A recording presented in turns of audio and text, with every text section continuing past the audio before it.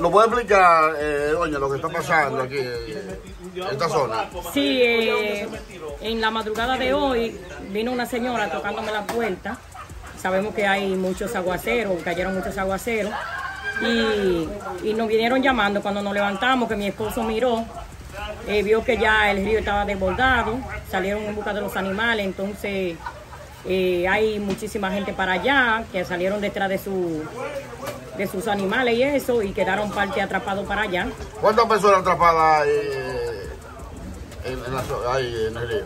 Eh, hay un promedio de seis o siete, porque ya hubiesen salido como tres. Para que las personas sepan de qué zona estamos hablando, ¿cómo se llama esto aquí?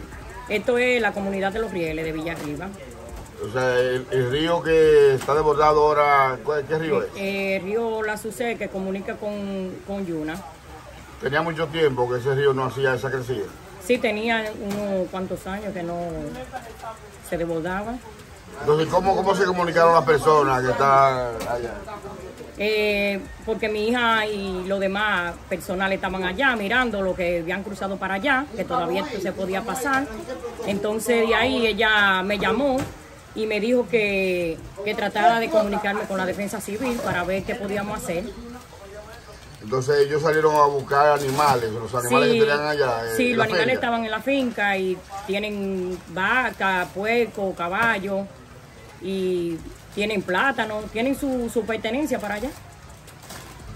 ¿Qué le solta a usted a, la- a las autoridades? Bueno, que tomen carta en el asunto y a ustedes también le agradecemos que están por esta, por esta comunidad eh, ayudándonos.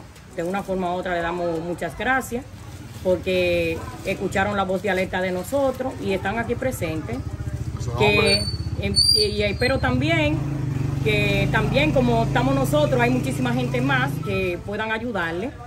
Mi nombre es Moralia Polanco, mejor conocida como Coca. Gracias. Sí.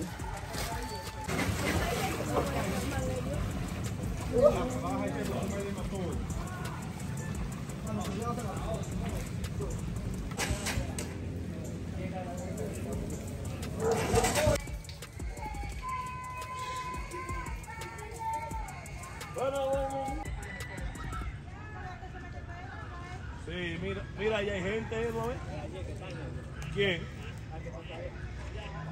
Eso no está hombre. No, fue por ahí que me dio a